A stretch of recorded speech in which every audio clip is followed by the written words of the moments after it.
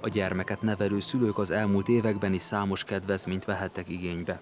Magyarország kormánya szeptemberben döntött arról, hogy minden olyan szülő, aki jogosult családi pótlékra, számolhat az adó visszatérítéssel 2022-ben.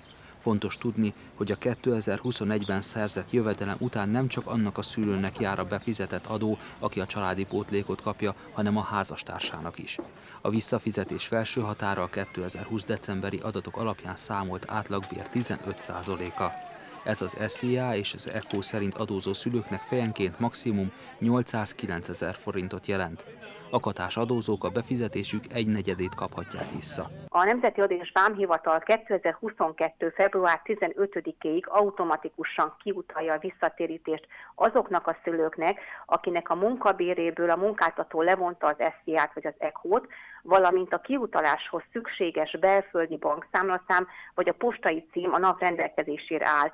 Nekik semmilyen adminisztratív teendőjük nincsen a katások és azok, akiknek a kiutaláshoz szükséges adatait nem ismeri a NAV, 2021. december 31-ig nyilatkozatot tehetnek nyilatkozni a visszadó nyomtatványon lehet, ez a nyomtatvány október 31-től érhető el a hivatalnál. Azok, akik a határidőig benyújtják a nyomtatványt, február 15-ig megkapják a visszatérítést, akik azonban határidőn túl adják be az igényt, ők a személyi jövedelem adó bevallásban tudják érvényesíteni a kedvezményt.